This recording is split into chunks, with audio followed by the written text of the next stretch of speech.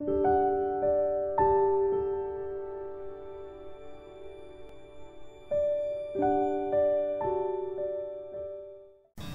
viewers my name is Yashwant Chinchane और आप देख रहे हैं homeopathic world channel so friends हम एफोरिज्म के बारे में देख रहे हैं. So this aphorism is given in organ of medicine six edition and which is written by doctor Samuel Hahnemann so first I read this aphorism and then we will discuss about it. So what is aphorism number 5? Useful to physician in assisting him to cure are the particulars of the most probable exciting cause of the acute disease and also the most significant point in the whole history of the chronic disease to enable him to discover its fundamental cause which is generally due to the chronic miasm.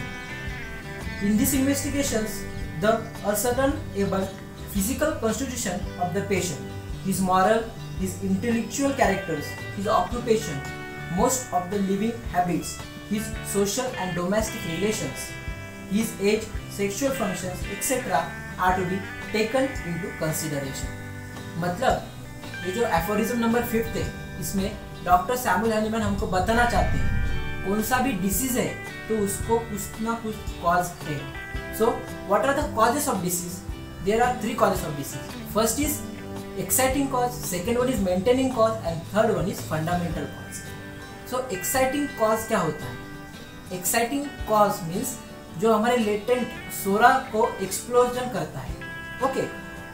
मतलब suppose a patient हमारे OPD में आता है, अगर उसको asthma है और cold condition में वो, जो कंडीशन है उसकी, वो और वर्स हो जाती है। तो हमको जो वो एक्साइटिंग कॉज है, वो हमको निकाल के देना है। जब तक हम वो एक्साइटिंग कॉज निकाल नहीं देंगे, तब तक वो मरीज़ अच्छे से ठीक नहीं हो पाएगा। Then second one is chronic miasm में इसका क्या रोल है? Exciting cause so exciting cause ये डिसीज को लेके चलेगा। जब तक हम अच्छे से सिमिलिमम दे रहे हैं, तभी भी उसको, उसका असर नहीं होगा बिकॉज़ कुछ ना कुछ कॉज है, वो डिसीज को वैसे ही रख रहा है तो उसको हम पर निकाल देना है। Then second one is maintaining cause maintaining cause is responsible for prolongation manifestation of the disease okay so maintaining cause क्या हो सकता है? मतलब suppose patient which is living in unhealthy locality then unhygienic condition पे वो रह रहा है देन उसके आजू बाजू का जो सराउंडिंग है वो अनहाइजीनिक है वो वर्स कंडीशन में रह रहा है। उसको फ़िज़िकल मेंटल इरिटेशन है। तो ये जो सब मेंटेनिंग कॉज है उसको हमको निकाल देना है।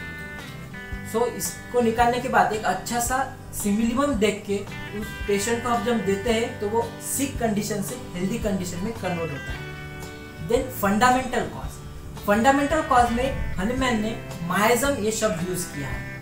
मतलब इसमें सोरा, सिफिलिस एंड साइकोसिस ये थ्री माइजम आते हैं। और इनके वजह से, इनका डिअरेंजमेंट होने के वजह से डिसीज हमारे बॉडी में एंटर करता है। तो क्लासिफिकेशन दिया है मायाजम का। एक्यूट एंड क्रॉनिक एक्यूट में simple fixed miasm and second is recurrent miasm okay fix miasm मतलब एग्ज़ाम्पल लेंगे हम जो चिकन पॉक्स स्मॉल पॉक्स ऐसे जो डिसीज है मतलब अगर एक बार वो हो गए तो बाद में पूरे लाइफ में वो हमको नहीं होंगे क्योंकि एक ही बार में हमारी इम्यूनिटी सिस्टम इतनी स्ट्रांग हो जाती है कि वो दूसरी बार उसका इफ़ेक्ट नहीं होने देती। Okay and recurrent acute miasm means जैसे कोलेरा है मलेरिया है। ओके देन कॉम्प्लेक्स में simple and complex psora syphilis sycosis and complex में आएगा। Psora syphilitic sycosyphilitic and psora syphilis so these are the causes of a diseases then Hahnemann साहब, ऐसा कहना चाहते हैं, हमको उस पेशेंट का टोटलिटी ऑफ़ सिम्टम्स लेना है। मतलब उसका एज क्या है? देन उसका ऑक्यूपेशन क्या है? सपोज़ एक पेशेंट हमारे ओपीडी में आता है, उसको लंग डिसीज है, और वो एक ऐसी जगह काम कर रहा है, जहाँ वो कंडीशन उसके लिए बहुत वर्स है। मतलब जब कॉटन फैक्ट्री रहते वहाँ अगर वो काम कर रहा है तो लंग डिसीज के उसको ज़्यादा चांसेस है। तो मतलब वो उसका मेंटेनिंग कॉज है? वो हमको निकाल के लेना है। देन उसका रिलीजन क्या है? रिलीजन वाइज भी डिसीज होते हैं देन एज वाइज भी होते हैं। तो ये पूरा जान लेना है। देन उसकी मानसिक अवस्था फ़िज़िकल उसके मेंटल्स हमको सब जान के लेना है। देन सोशल मतलब बाहर के लोगों से उसका बर्ताव कैसा है? घर के लोगों से उसका बर्ताव कैसा है? जब तक ये हम पूरा टोटलिटी ऑफ़ सिम्टम्स लेते नहीं है तब तक हमको एक अच्छा सा सिमिलीमम मिलता नहीं है। सो so, हमको क्या करना है? जो थ्री कॉज बता है उनको जान लेना है उन कॉज को निकाल देना है और उसके साथ हमको एक सिमिलीमम मेडिसिन पेशेंट को देना है जिसके वजह से वो अच्छे से सिक कंडीशन से हेल्दी कंडीशन में कन्वर्ट हो सकता है। So friends this is all about the aphorism number fifth if you have some questions please ask in the comment So viewers, if you like this video, please subscribe my channel and press the bell icon. Thank you.